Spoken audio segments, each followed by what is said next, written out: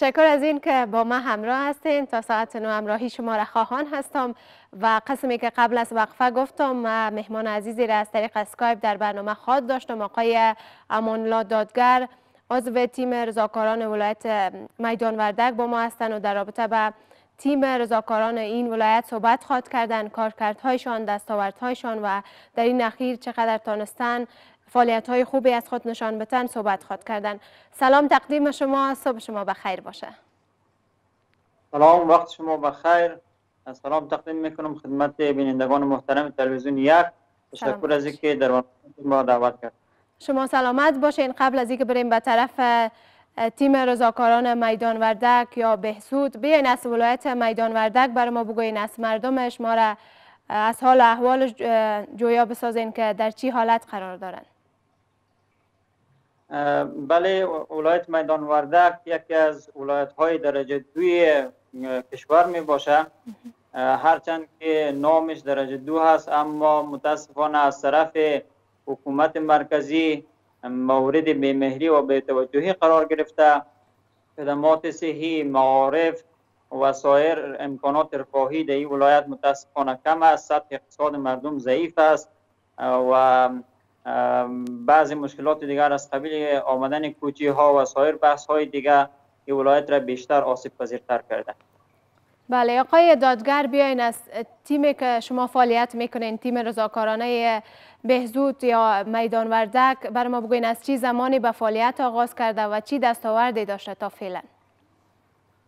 بله تیم رضاکاران بهزود دایمرداد برای نجات به هدف مبارزه با ویروس کرونا در ولایت میدان وردک و اختصاصا در سه ولسوالی ولایت میدان وردک که از ولسوالی های محروم ولایت میدان وردک به شمار میره کوی بارد از ولسوالی حصه اول بهسود ولسوالی مرکز بهسود و ولسوالی دایمرداد می باشه کار خود را آغاز کرد و این کار وقت شروع شد که 20 میلیون افغانی که در ولایت میدان وردک به خاطر مبارزه با ویروس کرونا اختصاص یافته بود. متاسفانه به نحوی از آنها مورد حیف و میل و دستبرد قرار گرفت و در بعضی ولسوالی ها حتی یک ماسک یا یک ماده ضد نرسید.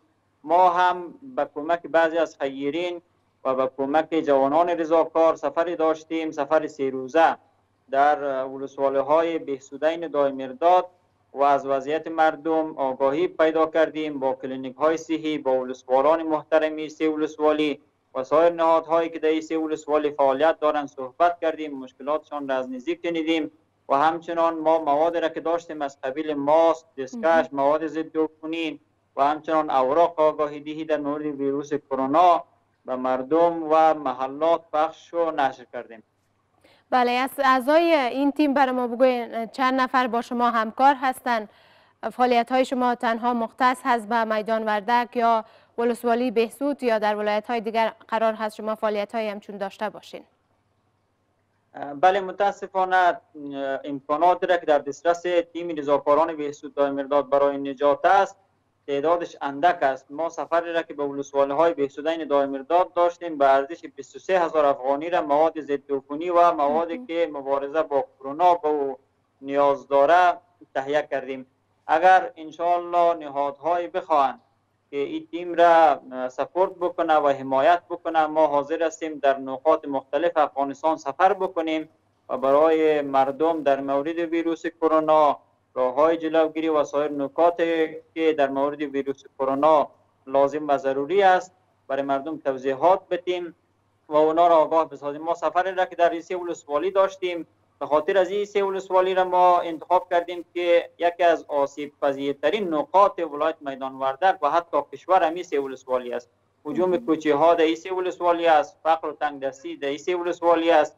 نبود معارف و میثاق شهروندی در سه ولسوالی است و سایر مشکلات را که این سه ولسوالی با او دسپنجه نرم می‌کنه تیم رضاکاران بهسود دایمرداد این سه ولسوالی را در اولویت کار خود قرار دادن و کار خود را شروع کردن. انشالله اگر حمایت های نهادها و یا دولت باشه ما حاضر هستیم در نقاط مختلف کشور سفر بکنیم و بر مردم خود موثر واقع شیم بسیار خوب. پس کسایی که با شما همکار هستند بر ما بگوین کی ها بیشتر با شما همکار می، همکاری می‌کنن. در بخش ای که آگاهی دهی بتن در رابطه به جلوگیری از انتشار بیشتر ویروس و کرونا یا هم تهیه کردن ماسک و دستکش و که ها بیشتر با شما همکار بودن تا فعلا. بله بزرگان همی سه سوالی با ما همکار بودن در قسمت حمایت های مالی و جوانان. سه ولسوالی در قسمت سفر کردن به سه ولسوالی و امکانات سفر را مهیا کردن برای برای تیم با ما همکار بودن. ما متاسفانه امکانات ما در سفر کم بود. ما با در قریه و قصبات با موتورسایکل سفر می کردیم و از ترانسپورت خوب برخوردار نبودیم. امکانات مبارزه با کرونا ما هم متاسفانه اندک بود اما برای آغاز و برای شروع می‌تونه یک گام مثبت بوده باشد تا انشالله ما بتانیم که یک مبارزه موثر را در ولایات مختلف افغانستان مخصوصا در سه ولسوالی انجام بدیم. بله از جدی گرفتن مسئله یا ویروس کرونا بر ما بگوین توسط مردم میدان وردک ما چقدر جدی گرفته میشه؟ آیا از ماسک و دستکش هم استفاده می‌کنن مردم ما و یا هم یعنی جدی نمی‌گیرن؟ اصلا در فکرش هم نیستن. همون رقمی که من اول تذکر دادم 20 میلیون افغانی بودجه به خاطر مبارزه با ویروس کرونا در ولایت میدان وردک اختصاص یافت. اما مقام ولایت میدان وردک متاسفانه این کمک را و این بودجه اختصاصی را درست مدیریت نتونست و ما سفر را که به این ولایت داشتیم متاسفانه تجمعات مردم هنوز هم ادامه داشت. هتل ها باز بودن. مردم هیچ گونه آگاهی در قسمت ویروس کرونا نداشتند. از ماسک و دسکش اینا هیچ خبری نبود. حتی ولسوالی ها و مقر ولسوالی های این ولایت را که ما سر زدیم یک ماسک یا دسکش از طرف مقام ولایت میدان وردک از 20 میلیون به اینا نرسیده بودن که جای تاسف است. باید در شیوه کار خود مقام ولایت میدان وردک تغییر ایجاد بکنه تا ای که خدای نکرده یک فاجعه کلان در ولایت رخ نده. از طرف دیگه مشکل کلان را که ما اونجا برخوردیم. کوچیدن مردم از کابل به طرف سی ولسوالی و ولایت میدان وردک بود. که متاسفانه از کابل تعداد بسیاری از مردم به صورت سیلاسا به این سی ولسوالی و سایر ولسوالی های ولایت میدان وردک سفر می‌کنن و هیچ گونه قیداتی از طرف مقام ولایت میدان وردک وضع نشده تا این رفت آمد ها را کنترل بکنه. بحث دیگر انتقال جنازه ها از کابل به طرف ولایت میدان وردک است که این هم می‌تونه خطرساز باشه برای ولایت میدان وردک به خاطر از اینکه میشه جنازه ها جنازه های کرونایی باشه و در قسمت نحوه کار خود در قسمت نحوه اختصاص بودجه به ولسوالی های ولایت میدان وردک و همچنان وضع قیدات بر رفت آمد و وضع قیدات بر عملکرد هتل ها و فعالیت هتل ها و مراکز عمومی باید ولایت میدان وردک تغییر بده.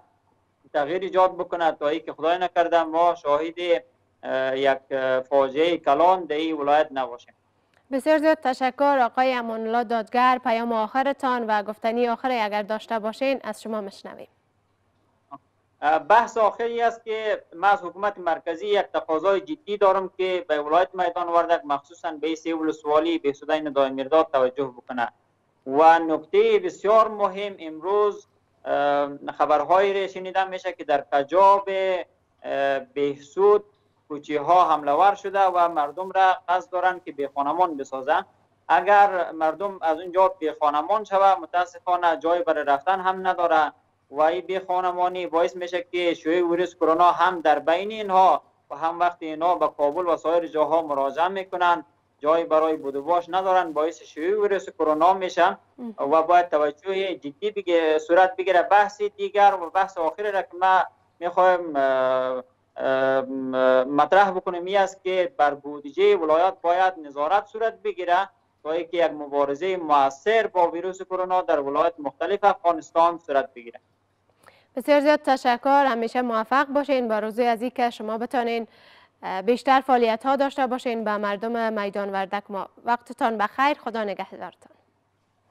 بسیار زیاد تشکر از شما عزیزانی که با ما همراه بودین. آقای امانالله دادگر عضو تیم رضاکاران میدان وردک بودن. درباره فعالیت هایشان صحبت کردن و ای که چقدر امکانات صحی را از بودجه خودشان از بودجه همکارانشان از تیم رضاکارانی که داشتن اختصاص دادن به مردم میدان وردک. خب بریم به طرف وقفه خیلی کوتاه. دوباره که برگشتم آب و هوا و نرخ اسعار قرار است تقدیمتان